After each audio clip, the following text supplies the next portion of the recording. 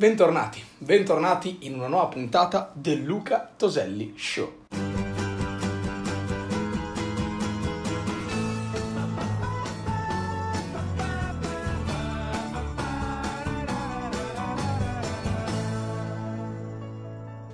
Va? Come va? Tutto bene? Nonostante il freddo che sta arrivando fuori, ormai le giornate sono sempre meno calde e a me un po' questa stagione fa schifo. Grandi novità, grandissime novità. Ho deciso di cambiare completamente il format dello show, ma di questo parleremo o in una storia di Instagram o in un altro video o alla fine di questo devo ancora decidere bene. L'unica cosa che non è cambiata è questa camicia che sta iniziando a fare sicuramente un profumino non di pulito.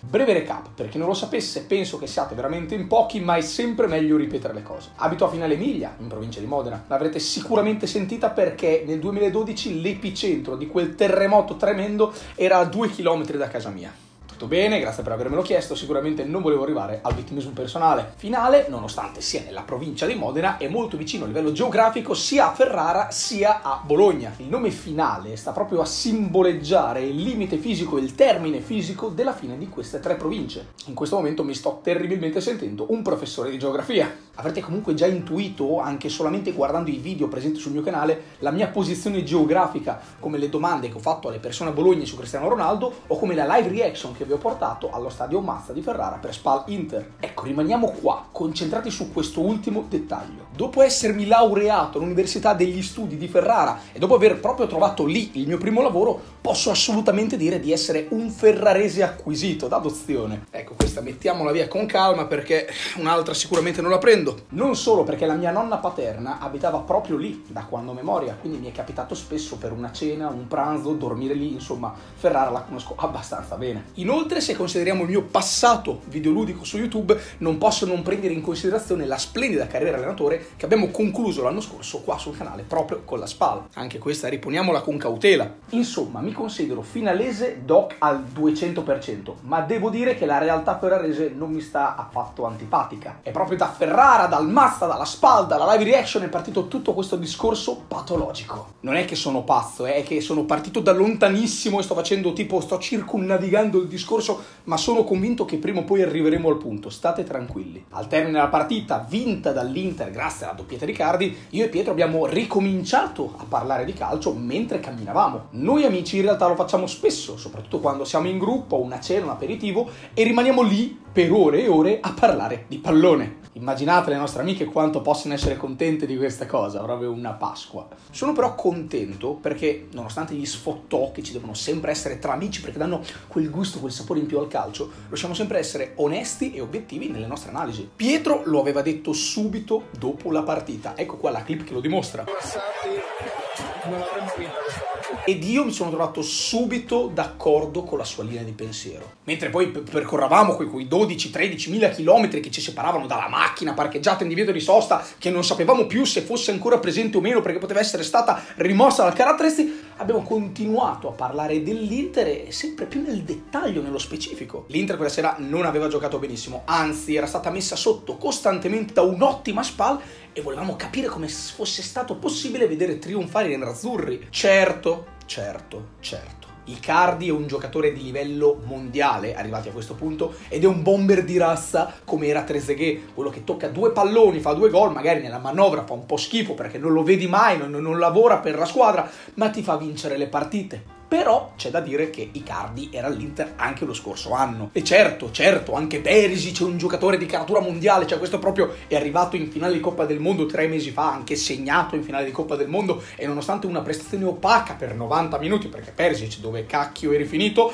ha sforrato quel super asset per Icardi, ha risolto la partita, ma anche in questo caso Perisic era già all'Inter lo scorso anno. Così come Andanovic e Skriniar, così come Vessino e la sua garra charrua. Devo, devo darci un taglio di pronunciare questo termine perché ad anni mi hai rovinato la vita, non riesco più a smettere di dirlo. In ogni video devo dire garra charrua perché sennò esplodo le vene qua. E allora, cos'è cambiato nell'Inter per giustificare un tale cambiamento anche solo di mentalità? Che cosa? Con tutto il rispetto per i vari Versalico, Asamoah, Devray, Politano, Keita, Lautaro Martinez, che sono tutti giocatori di ottimo livello, vorrei però soffermarmi su quello che secondo me è stato il colpo veramente importante dell'Inter dell'ultima stagione.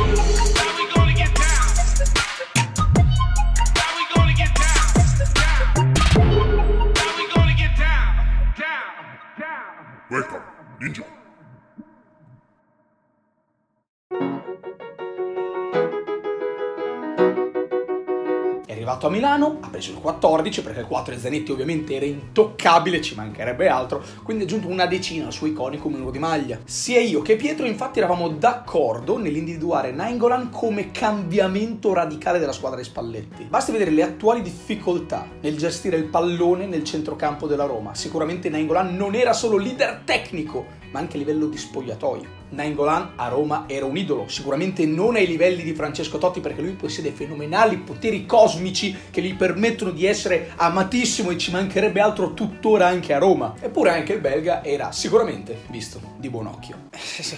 Sì, almeno fin, fino a Capodanno 2018.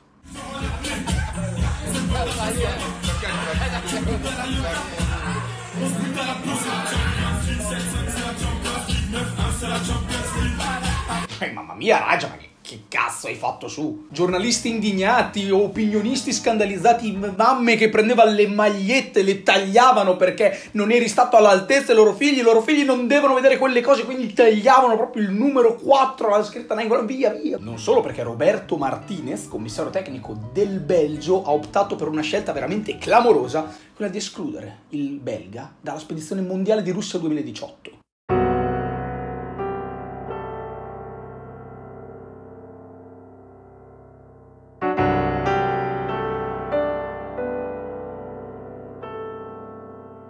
Sulla carta, scelta tecnica. Non si è mai fatto riferimento a festini, bestemmie, ubriacate, fumate di sigaretta in pubblico, ecco qua i titoli che lo dimostrano. Lungi da me voler giudicare il lavoro di un professionista che ha fatto anche benissimo al mondiale, perché il Belgio ha fatto un mondiale strepitoso, ma secondo me nella decisione del tecnico c'è stato anche qualcos'altro. Proprio nella precedente stagione giallorossa, infatti Nainggolan aveva appena finito di segnare i suoi primi due gol in Champions, dimostrando di essere un giocatore non solo a livello nazionale ma anche internazionale. Negli ultimi anni poi Nainggolan aveva praticamente cambiato ruolo, passando da mediano da centrocampista campista di interdizione puro qual era, a una sorta di mezza punta come intuizione geniale di Spalletti che io mi ricordo le prime volte che lo vedevo dicevo ma, ma che cazzo stai dicendo Luciano? Lì Nainggolan non ci può giocare, invece guardate com'è finita. Quindi così dal nulla il ragazzo si è ritrovato a essere una delle divinità di Roma, magari dietro al Papa e dietro a Totti, e però le persone lo vedevano sempre più di cattivo occhio e non aveva neanche più quel tecnico che l'aveva modificato portandolo a diventare completamente un altro tipo di calciatore calciatore. Tutto questo per una serata, la serata di Capodanno. Spiegata in questo modo non è neanche così difficile capire come Nainggolan abbia deciso di lasciare la capitale d'Italia per trasferirsi a Milano. Che cosa ne pensate? Proprio all'ombra del Duomo e con il suo vecchio allenatore Nainggolan è riuscito a cambiare l'Inter. Bene, dopo una premessa interminabile è giusto arrivare alla domanda focale di questo video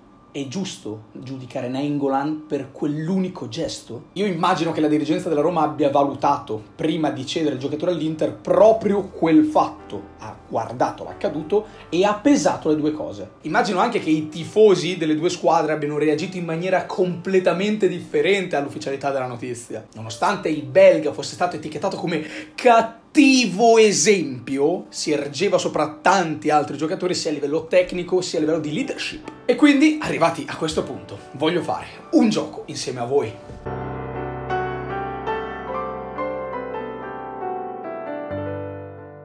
Sicuramente Nengolan è stato un cattivo esempio, soprattutto per i più giovani. Magari qualche ragazzino sarà rimasto anche un po' stupito, esterrefatto e deluso da vedere quello che considerava il suo idolo fare dirette su Instagram mentre era ubriaco, fumava e bestemmiava. Eppure a Capodanno, si sa, si tende ad alzare un po' più il gomito. Il risultato è chiaro e lampante. Ci si ubriaca. Non siate ipocriti con me perché io vi vedo, vi vedo che siete lì scandalizzati. Oh no, io queste cose non le faccio mentre vomitavate anche voi vostra madre l'ultimo 31 dicembre. Lo vedo. Inoltre Instagram è entrato prepotentemente nelle nostre vite e adesso tutti possono farsi i cazzi nostri anche se non sono presenti. Magari Nengolan avrebbe potuto evitare, e su questo probabilmente siamo tutti d'accordo, di fare storie su Instagram, ma qualcuno avrebbe potuto comunque riprenderlo e quindi mostrare lo stesso al mondo quelle stesse immagini. E proprio questo non vi ricorda qualcosa di successo molto più recentemente, tipo quest'estate?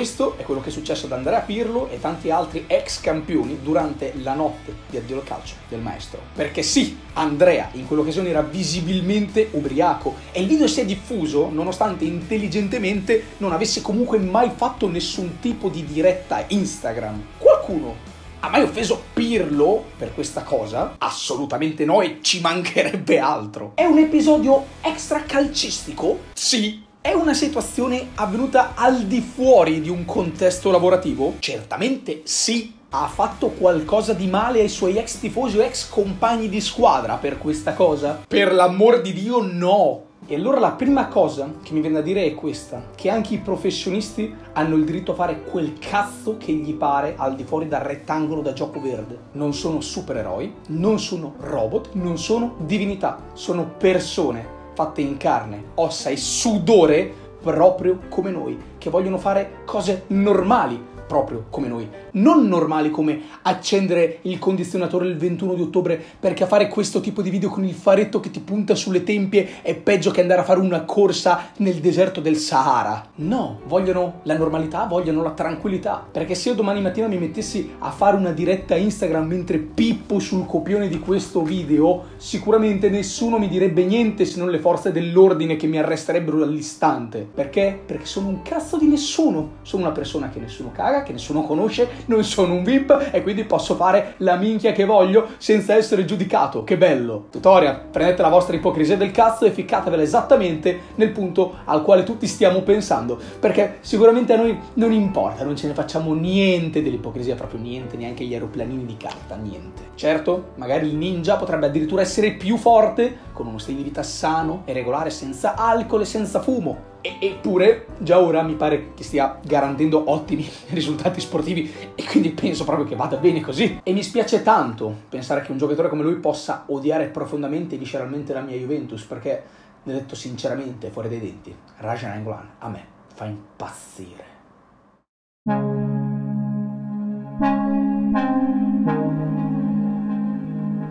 Visto? Ce l'abbiamo fatta! E adesso posso finalmente confessarvi che questo copione in realtà non c'entra assolutamente niente, era di un'altra cosa, lo tenevo qua per fare scena. Un po' come Nike che non mi ha pagato per fare il placement di questo pallone, ma era l'unico pallone che possedevo e volevo dare un tocco calcistico alla scrivania. Però Nike o Nike, se vuoi, puoi benissimo pagarmi perché come hai visto è venuto fuori qualcosa di... Eh? Top. No, in realtà non so come verrà questa cosa, è un esperimento, una puntata pilota, come vedete cioè non ho neanche un, un fondale che possa ricondursi a, a, un telegiornale a livello calcistico o uno studio opinionistico calcistico, perché uno sfondo giallo che sono due armadi, cioè cosa vuoi te? Non sono riuscito neanche a registrare con la reflex perché mi è saltata la, la card e non riesco a registrare, ho una tv lì che, che, doveva avere l'output per farmi vedere cosa stavo registrando, invece ogni 10 minuti mi tocca alzarmi perché sto registrando con un telefono, devo andare a vedere se non è saltata la registrazione, è un disastro, veramente l'inferno. Però sono contento, sono contento perché questo è un contenuto scritto, diretto, interpretato da me. Questo è un contenuto da Luca. Qui dentro c'è tutto, c'è, c'è ogni mia singola abilità, quella di, di scrivere un testo, quella di, di, buttarlo fuori se secondo la mia personalità e di mostrarvelo. È praticamente un trasferimento FTP dal mio cervello all'iPad e dall'iPad al telefono, dal telefono al computer per poi montarlo. Quindi è come se vi mandassi un messaggio con dentro proprio una filosofia, un ragionamento su una cosa. Ok, non ho più fiato respiro. È una cosa che mi piace, credo che sia una cosa figa, credo che sia giusto per me fare pochi video ma fatti bene. È una vita che dico che voglio fare questa cosa, è una vita che dico che voglio fare come io Toby in ambito calcistico e sono sicuro che potrei riuscirci seguendo determinate linee guida. Certo siamo ancora indietro, questa è la prima puntata, lasciatemi il beneficio del dubbio, ma se vi è piaciuta vi chiedo di lasciare un mi piace, di lasciare un commento spiegandomi cosa vi è piaciuto, cosa non vi è piaciuto, ma tanto sono sicuro, veramente ne sono consapevole, che questo è l'ennesimo video che mi va a fare 1000, 2000, 3000 views proprio se va bene, perché ormai il canale è morto, lo sappiamo benissimo, lo so io e lo so voi, ma in questo momento non me ne frega niente di fare le views, di fare views facili. La gente mi sta chiedendo perché non sto facendo FIFA dato che il mio canale non va più e quindi potrei rigenerarlo. Semplicemente perché non mi interessa più fare quel tipo di contenuto, l'ho già detto, mi interessa alzare l'asticella e fare un contenuto come questo, che poi magari viene fuori una schifezza, ne sono consapevole, ma che sulla carta, per quanto mi riguarda, è un contenuto fatto bene, di qualità. E quindi sono veramente curioso di vedere dall'altra parte che cosa potrebbe venire fuori. Sono curioso di capire se questa cosa può piacervi oppure no. Non aspettatevi tanti video del genere perché il mio tempo è veramente limitato, ma ogni volta che avrò l'opportunità di scrivere di un argomento che mi preme, mi sta a cuore, di cui voglio parlare e avrò il tempo di girare perché non è facile anche solo dover montare questa scrivania tutte le volte perché è troppo grande, non ci sta nella mia camera grande come una scatoletta di tonno, quindi la devo nascondere dietro agli armadi. Però sono convinto di voler portare questo tipo di contenuto sempre più frequentemente e tutte le volte volte che ne avrò l'opportunità. E magari anche quando ci sarà un po' più freschino, perché eh, vestito in questa maniera vi posso assicurare che sto sudando tantissimo.